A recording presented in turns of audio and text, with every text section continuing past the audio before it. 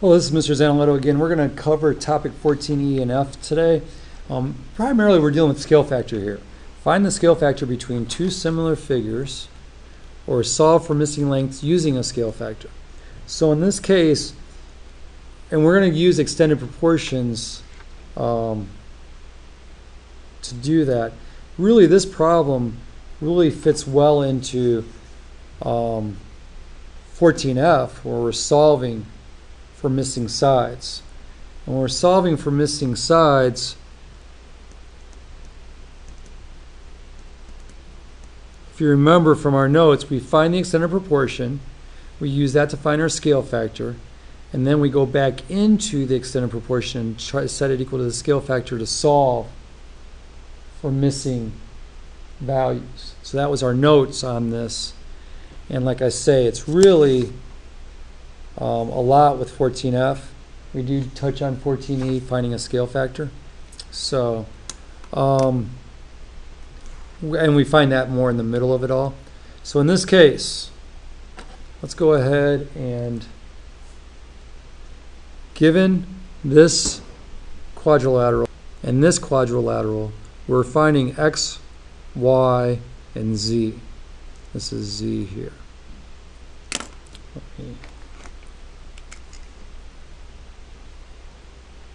So those are what we're really looking for.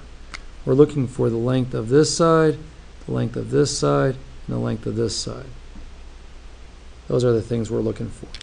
So, at this point, I would like to go ahead and just using this similarity statement, I'm going to go ahead and say EF, FG, GH, and EH should be equal to JK, KL, LM, and JM. And once we fill that, once we've done that step, made that proportion, then we want to go ahead and start filling in information that we know.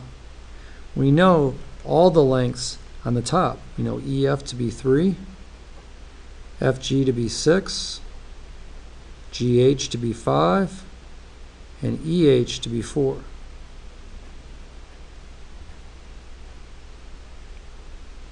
And we know JK to be 2. And we're going to be looking for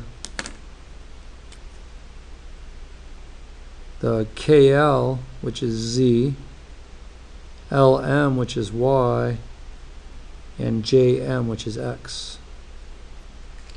So those are what we're looking for. And 3 over 2 is already a nice simplified scale factor. So we've found our scale factor.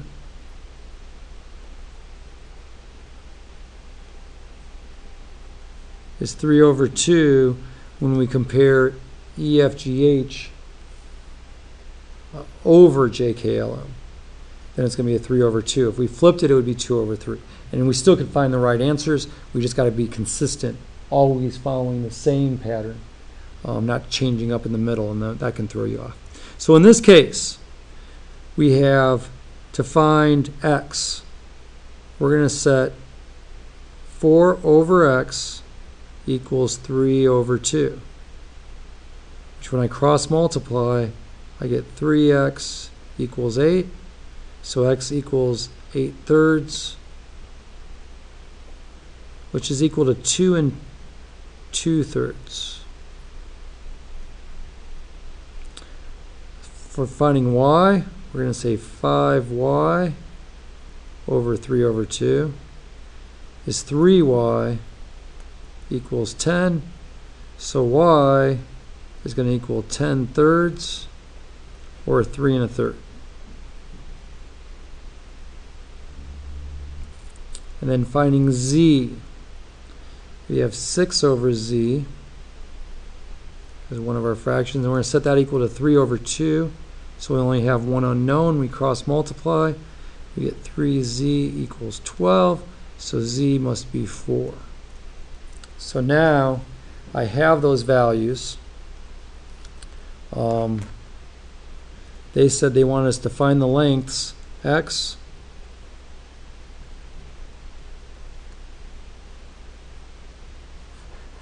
y, and z. And then they want us to find the perimeter. Well, we can't forget jk as well. So we're going to add 2, the perimeter should equal the 2 on the side that we already were given, and then x, y, z. 2 and 2 thirds, 3 and a third, and 4. Um, 2 and 4 make 6. I'm going to add those together, and then this is 5 plus 1 is 6. So you end up with 12. 12 is your perimeter. Um, in this problem, oops, sorry. In this problem, we actually, I've answered all four parts of what was being asked. Um, they never gave us units, so I'm going to leave it blank. I obviously can't make up units, and I'm not going to just write the word units. But you do want, if they do give them to you, you do want to give it in net units. And that's hopefully helpful for you to look through and understand how to solve a question where they give you a similarity statement and some information. If you can find the scale factor, you're halfway there, then you go ahead and just set up the proportion and solve. And you should be able to find those answers. So, thank you very much and have a good day.